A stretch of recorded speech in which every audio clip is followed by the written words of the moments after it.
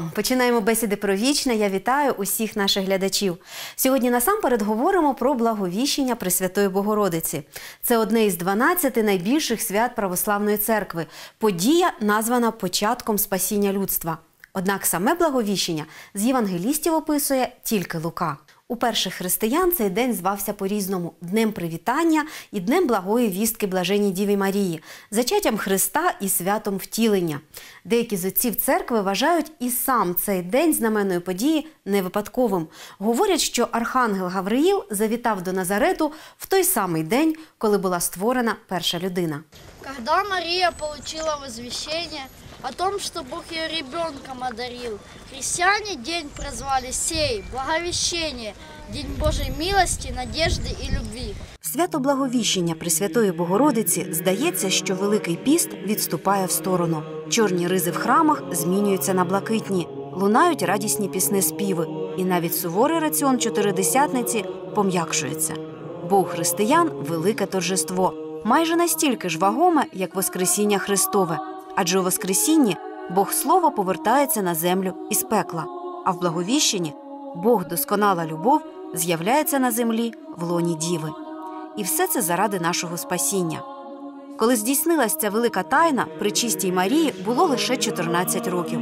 12 із них вона прожила в Єрусалимському храмі, працювала для святині як рукодільниця, прославляла Бога в своїх молитвах, вивчала святе письмо і навіть бесідувала з ангелами. Церковне передання говорить, що і в домі старенького 80-річного Йосипа, з яким обручили діву, Марія жила святим життям, віддаючи увесь вільний час вивченню святих книг. она открыла главу пророка Исаии, в котором написано, что дева приимет во чреве и родит сына, который будет Эммануил, что означает «с нами Бог». И размышляет дева в себе, Господи, хоть бы увидеть эту счастливую деву, которая сподобится такой великой чести стать матерью Бога здесь на земле.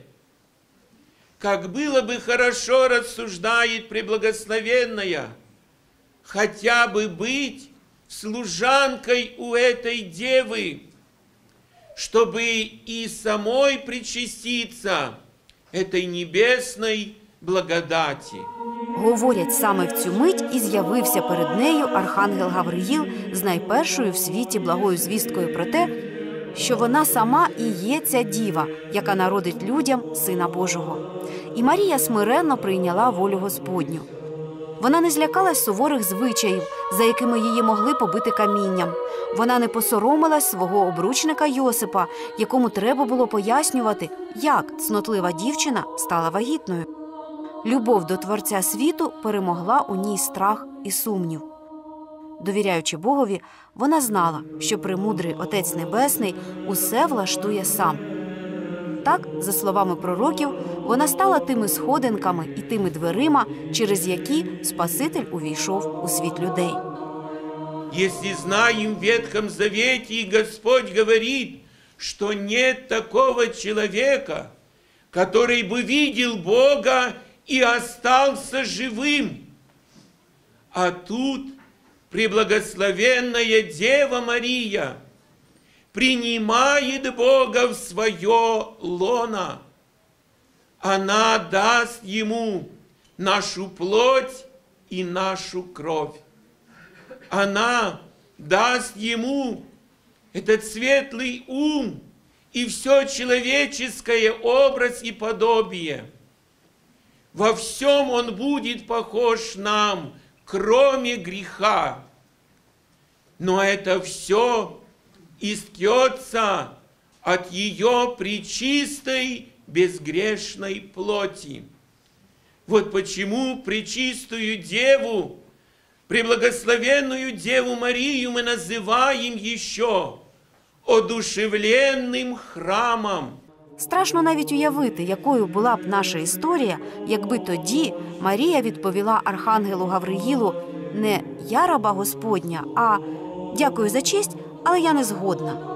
Ніхто б не народився у Віфлеємі, ніхто б не показав людям на фаворі шлях до обожнення, ніхто б не встановив таїнства Євхаристії, ніхто б за нас не помер і не воскрес. Душі людей так би і залишились навічно у пеклі. Не було б звичної нам європейської культури, не було б науки у її сучасному розумінні, бо природа, яку обожнювали язичники, лишалась би недоторканною.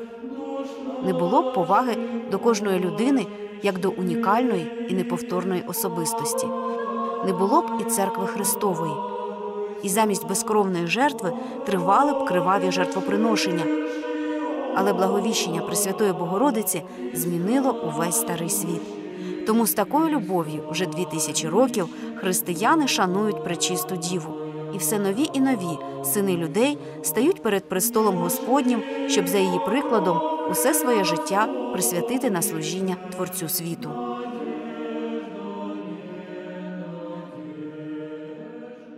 Це найвище послушання тут на землі. З ним не може зрівнятися ні царське, ні президентське, ні саме велике послушання на землі.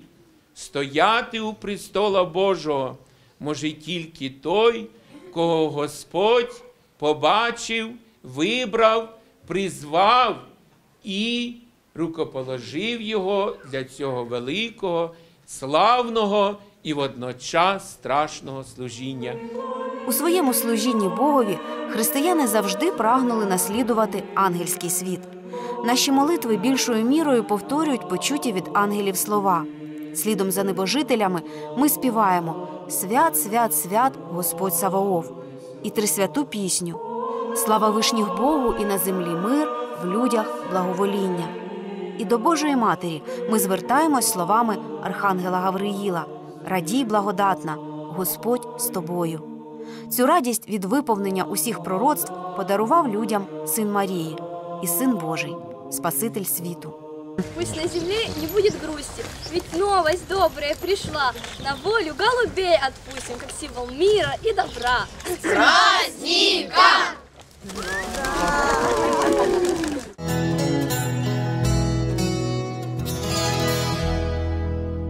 Продовжуємо нашу передачу. У нас у студії протиєрей Олександр Горовенко. Здравствуйте. Отець Олександр, говоримо далі про отічник.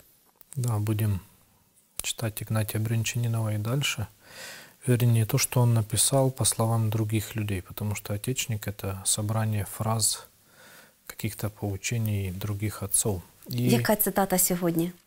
сегодняшняя цитата очень злободневная.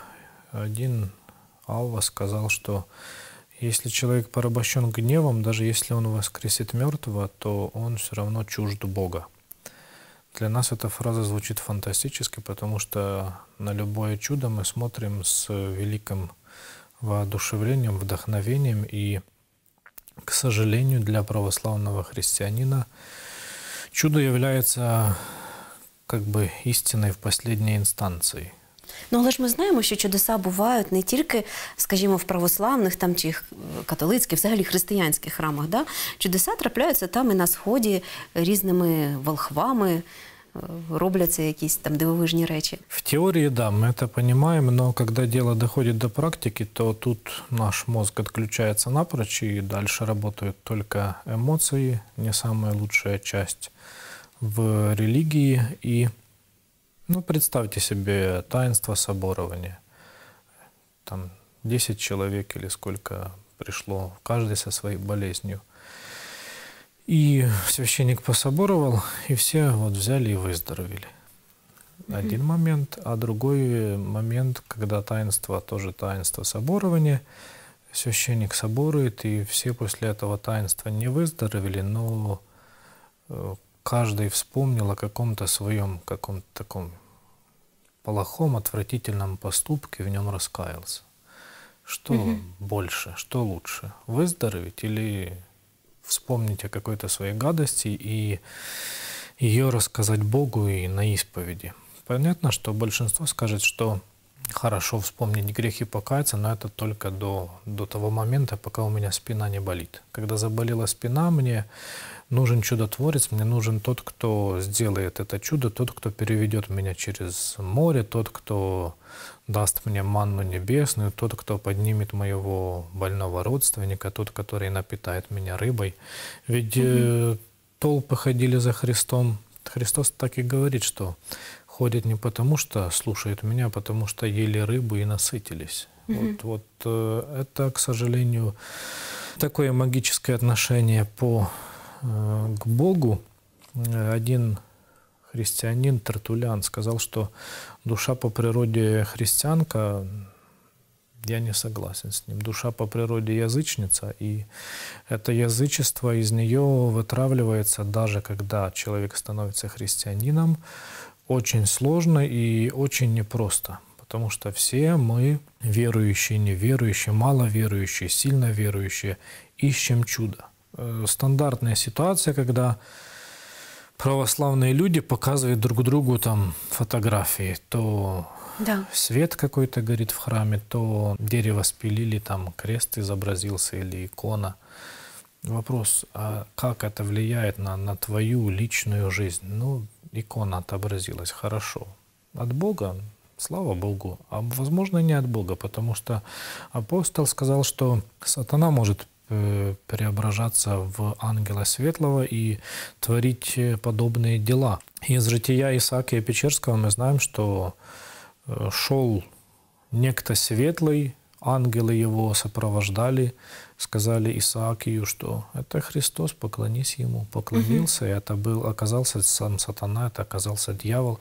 Поэтому чудо – это то, что соблазняет верующего человека, но никак не свидетельствует о том, что источник этого чуда только Бог. Чудо, как э, что-то такое внематериальное, оно подчиняется и нематериальным духам, которые не ангелы, те, которые упали, те, которые упали с неба, те, которые отошли от Бога, но тем не менее имеют э, какую-то оставшуюся власть над э, какой-то физикой природы и имеют э, возможность показать человеку чудо, особенно тогда, когда его сердце э, готово и очень жаждет этого чуда. Наша беда в том, что мы в отношении к религии мы не ищем исцеления и спасения души, мы ищем вот этого чуда, чтобы все мои проблемы разрешились.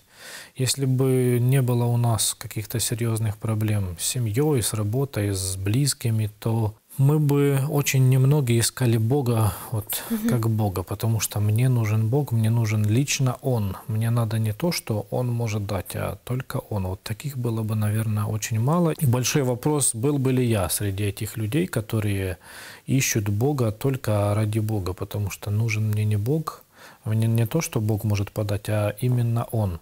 В Ветхом Завете вообще явление чуда трактовалось как э, предзнаменование смерти. Когда являлся ангел, то люди, там, Гедеону явился ангел, он готовился к смерти, сказал жене, умирать буду. Э, Хотя ангел от Бога сказал, что ты будешь, Гедеон, э, тем, кто освободит Израиль, и так и было, но тем не менее это явление было настолько для ветхозаветного человека ужасное и трактовалось, что это только плохо, это предвестник смерти, что человек, видевший какое-то чудо в те времена, он к этому чуду очень осторожно относился и всегда трактовал для себя его как нечто не очень хорошее, потому что чудо надо там, где не работает мозг, чудо надо там, где не работает э, логика, чудо надо там, где мало веры. Вот там, де віри много, там чуда не надо. Ну, але власне у нас у всіх дуже мало віри. Ми, мабуть, усі маловірні люди, і тому м, можливо, ми так до чудес і ставимось з таким прихильністю з такою. Совершенно верно. Мы м, обладаем очень какой-то поверхностной верой, потому что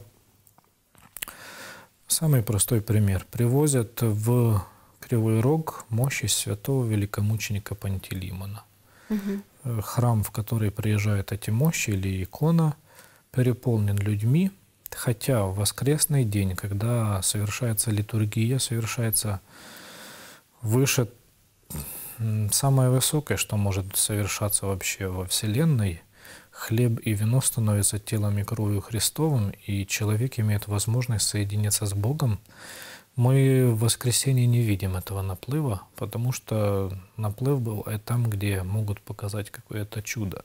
Понятно, что мы ищем помощи нашим близким, себе, когда болеем. Но, тем не менее, каждое воскресенье нам предлагается бесплатное чудо, и такое чудо, которому аналогов нет. Одно чудо, когда помолились великомученику и ожил больной, но совершенно другое чудо, другого порядка чудо, когда человек причащается и становится единым з Творцом, з Богом.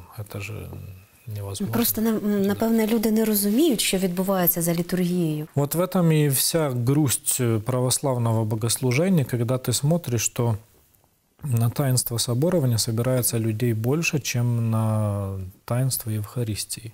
Когда люди, людям нужен не Христос, людям нужен не сам Бог, не я хочу быть с Богом, а ты дай мне, Боже, то, что я прошу, ну, в данном И відійди случае від мене, здоровье. да? Да, и от, отойди, потому что ну, вообще, з- к Богу слово «отойди» – это хорошее слово, потому что Христос вошел в лодку к Петру, проповедовал, потом Петр вытащил рыбу, и такая здравая фраза грешного человека «отойди от меня, потому что я грешный». Отойди не потому, что э, мне с тобой плохо, нет, мне с тобой страшно. Ты, ты что-то другое, ты, ты не такой, как я, ты, ты совсем другой, ты совсем иной, как Исаия говорит, что от лица Бога, что мои мысли не ваши мысли, мои пути не ваши пути, как небо от земли отстоит, так и мои мысли отстоят от ваших. То есть это какая-то другая реальность, э, которая не поддается логике. Бога невозможно просчитать, его невозможно предугадать. Там, где казалось, он должен наказывать и уничтожать, он милует. Там, где надо бы помиловать и, возможно, похвалить, он порицает. То есть э, ненавидьте нам, людям, людям, которые согрешали и грешили страшно, за трехдневное покаяние он сказал, ну ладно, все, я вас прощаю. Э, Марфа, которая заботилась за, о людях, которые ходили со Христом, и, и Христа же кормила, не только и, и людей. Он сказал, а Мария лучшую часть избрала, чем ты. Казалось бы, похвали эту, а она ж трудится. Нет, он говорит, это лучше. Хотя не порицал и первую, и первая нужна. Но тем не менее, вот логика божественная, она нам сто процентов недоступная. И единственное, что должно быть в отношениях между мной и Богом, это вот эта страшная фраза «отойди от меня, потому что я человек грешный». Мне Але с ж тобой жителі страшно». Гар- Гадари, вони теж прогнали від себе Христа, але це було зовсім інше, напевне, зовсім інша подія, правда? Это еще одна такая функция Бога, когда Он приходит, то Он сжигает все, что, все, что не Его, все, что ненужное в человеке, а этот процесс всегда болезненный. Вот, э, Від Гадари нічого не залишилося, і Да. ніхто навіть не може сказати, де вона. Жители Гадаринские, они лишились своих стад, при том, что это были евреи, и по закону Ветхого Завета они не имели права, они не ели этих свиней, это все была торговля, бизнес, но, тем не менее, они не имели права их э, держать и богатеть таким образом. И поэтому, когда приходит Бог, это не только счастье, это не только улыбка, это не только блаженство, это еще и больно. Больно, потому что я грешный. Если я праведник, то был бы. Если бы я был праведником, то посещение Бога для меня было бы радость. Но поскольку и во мне есть часть, которая любит Бога, а есть другая часть, которая его очень боится. Это часть, э, которая грешит во мне. Вот э, эта часть, она не причастна, не имеет ничего общего с Богом. Потому что в покаянии я говорю Богу, что «Боже, я вот э, такой, такой, такой, но я не только такой. Я имею грехи, я имею привязанности и страсти, я люблю грех. Это же не просто так, я там согрешил случайно или просто хотелось. Я люблю грех, но есть во мне та часть, которая знает, что благо с тобой, что твои заповеди, это выполнение твоих заповедей, это сладость для моей души. И покаянные слова к Богу, это Боже, смотри на ту сторону, которая любит тебя, а ту пока что не уничтожай, может она как-то трансформируется, потому что каждый из нас это такой мини-разбойник, который надеется услышать слова, что заходи в Царство Небесное, сегодня со мной будешь в раю. Я вам дякую за сьогоднішню бесіду. Дякую, що нагадали нам таке, м, ну я не знаю, такі страшні слова, скажімо так, для кожного християнина, напевне. І є про що міркувати. Думаю, наші глядачі будуть міркувати цілий тиждень над цими словами. Ангела-хранителя.